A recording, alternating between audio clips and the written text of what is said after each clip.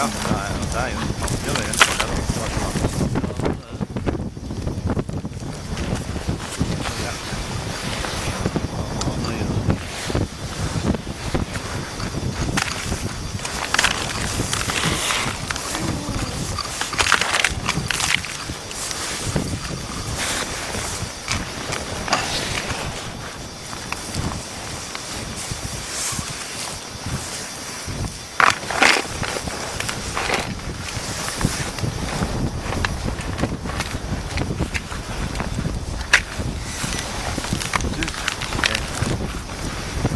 Eh, som ligger mellom steinene der, eh, oppå gipskapet